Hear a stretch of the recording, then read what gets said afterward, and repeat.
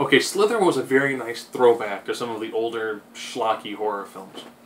Essentially, you have something that falls from space. And I do mean it's a something. And then it cracks ends up being kind of like a ball full of goo. Kind of like Happy Fun Ball. This is why you shouldn't taunt it.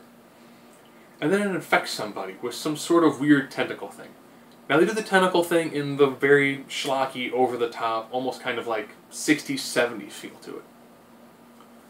And then it begins to infect other people.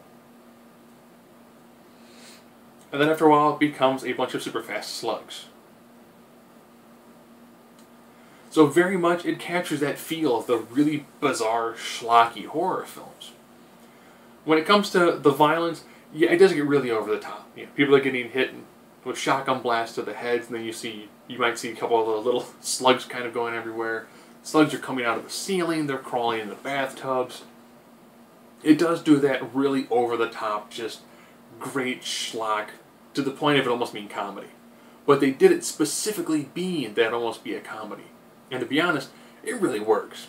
If you want to see a movie that's going to be just just a fun, gross, schlocky time, Slither is probably one of the best films you'll see.